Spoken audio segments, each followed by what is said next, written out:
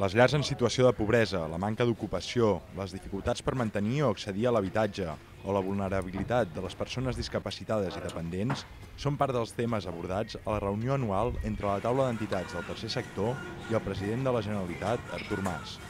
Per saber de primera mà quines són algunes de les problemàtiques concretes que afecten aquestes entitats, hem parlat amb la Fundació Viver de Belllloc de Cardedeu, a nivell de residència ens trobem amb que hi ha molta llista d'espera dels diferents serveis, tant de les residències com els centres d'atenció diurna, les, les residències i llavors també amb el servei de suport a l'autonomia de la pròpia llar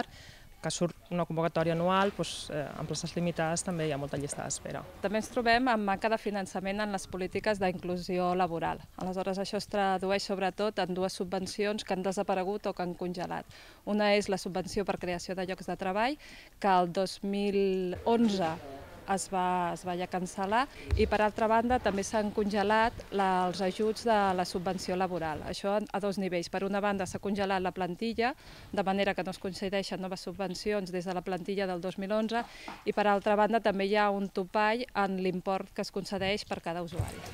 Des d'aquesta fundació consideren, però, que les reunions de la taula del tercer sector amb Artur Mas acabaran donant resultat a llarg termini, ja que actualment estan condicionades per la reducció pressupostària que pateix l'administració.